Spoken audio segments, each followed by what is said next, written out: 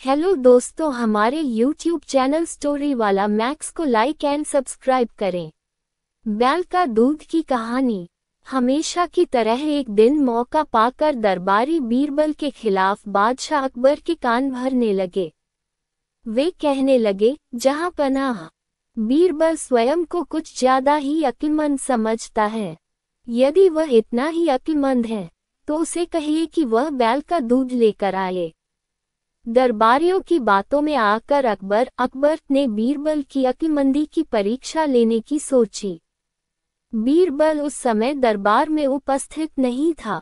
जब वह दरबार पहुँचा तो अकबर बोले, बीरबल, क्या तुम मानते हो कि दुनिया में कोई कार्य असंभव नहीं?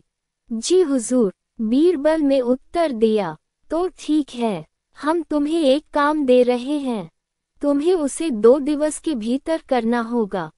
फरमाइए, हुजूर, आपके हर हुक्म की तामीली मेरा कर्तव्य है। बीरबल सिर झुककर अदब से बोला, जाओ जाकर बैल ऑक्स का दूध लेकर आओ। अकबर ने आदेश दिया। आदेश सुनकर बीरबल भौचक्का रह गया। इधर दरबारी मन ही मन बड़े प्रसन्न हुए।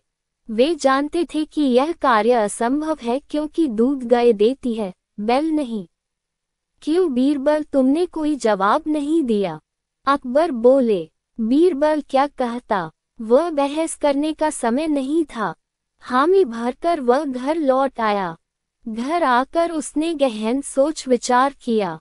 अपनी पत्नी और पुत्री से भी चर्चा की। आखिरकार सबने मिलकर एक उपाय निकाल ही लिया। उस रात बीरबल की पुत्री अकबर के महल के पीछे स्थित कुएँ पर गई और पीट पीट कर कपड़े धोने लगी। अकबर के महल की खिड़की उस कुएँ की ओर खुलती थी। ज़ोर ज़ोर से कपड़े पीटने की आवाज़ सुनकर उनकी नींद खुल गई। खिड़की से झांकने पर उन्हें एक लड़की कुएँ पर कपड़े धोती हुई दिखाई पड़ी। अकबर ने वहीं से चिल्लाकर उस लड़की से पूछा, बच्ची, इतनी रात गए कपड़े क्यों धो रही हो? बीरबल की पुत्री बोली, हुजूर, मेरी माता घर पर नहीं है। वे कुछ महीनों से अपने मायके में हैं। उनकी अनुपस्थिति में आज मेरे पिता ने एक बच्चे को जन्म दिया। दिन भर मुझे उनकी सेवा शुश्रूषा करनी पड़ी। कपड़े धोने का समय ही नहीं पाया, इसलिए रात में कपड़े धो रही हूँ। कैसी विचित्र बात कर रही हूँ बच्ची। आदमी बच्चे पैदा करते हैं क्या? अकबर कुछ नाराज़गी में बोले, करते हैं हुजूर। जब बैल दूध दे सकता है तो आदमी भी बच्चे पैदा कर सकते हैं।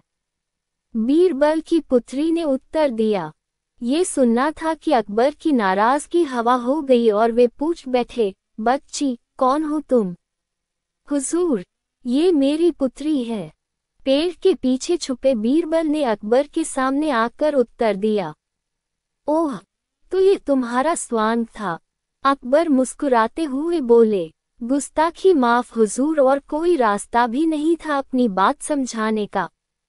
बीरबल अकबर की नींद में खलल डालने के लिए क्षमा मांगते हुए बोला। इधर अकबर भी बीरबल की अक्लमंदी का लोहा मान गए। अगले दिन रात का पूरा वृतांत दरबारियों को सुनाते हुए उन्होंने बीरबल को उसकी अक्लमंदी के लिए सोने का हार इनाम में दिया। दरबारी हमेशा की तरह जल भून कर रह